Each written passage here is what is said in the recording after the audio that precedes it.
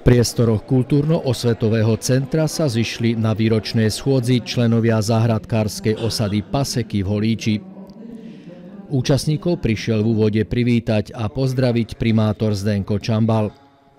Predsednička základnej organizácie Mária Trnková potom predniesla správu o činnosti záhradkovej osady a jej výboru za rok 2015. Za posledných niekoľko rokov prišlo k značnej generačnej obmene a bolo uzavretých 57 nových zmluv, čo je takmer dve tretiny nových mladých záhradkárov. V súvislosti so zmenou užívateľov a vlastníkov záhradiek pripomenula povinnosti predávajúcich i kupujúcich, keďže podľa jej slov dochádza v ostatnom období k nedorozumeniam z jednej i druhej strany.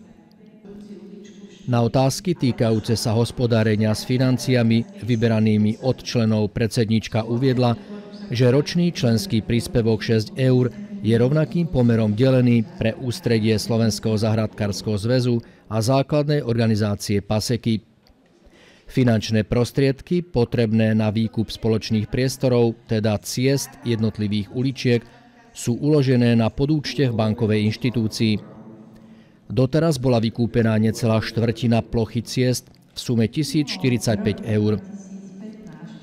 Živá diskusia sa rozprúdila k téme vysporiadania vlastníctva pozemkov záhradok a spoločných ciest v osade. Ako vyznelo aj z vyjadrení prítomného právnika z advokátskej kancelárie, častokrát sa nedarí získať súhlasnú odpoveď od oslovených vlastníkov pozemkov, najmä ak ich je viacej, sú mimo územia republiky, nesúhlasia s navrhovanou úradnou cenou alebo majú neprimerané požiadavky na ocenenie za meter štvorcový pozemku. V samotnej osade Paseky sú požadované extrémne sumy vo výške 10 i viac eur za meter štvorcový. Zaťažujúcou je aj zložitosť výkupu pozemku od štátneho pozemkového fondu, a tiež zdlhavý a komplikovaný postup výkupu od štátnych lesov. Prednesená správa o činnosti poukázala aj na jeden sústavne sa vyskytúci problém porušovanie zákona o životnom prostredí.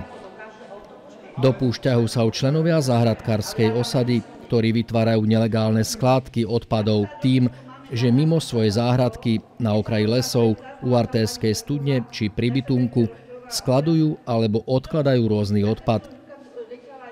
Pozitívne však bola zhodnotená pestovateľská a výstavnícka činnosť, najmä minuloročné úspechy členov Tringela a Pobudu, ktorí za vystavované odrody získali čestné uznanie, respektíve cenu za prvé miesto. Aktivity a účasť na výstavách i zájazdoch ocenil v príhovore jeden z hostí členskej schôdze – predseda okresného výboru Florian Pavlík. Mária Trnková na záver v mene výboru poďakovala členom osady Paseky za starostlivosť o svoje záhradky a vďaku za dobrú spoluprácu vyjadrila mestu Holíč i okresnému výboru záhradkárov v Senici.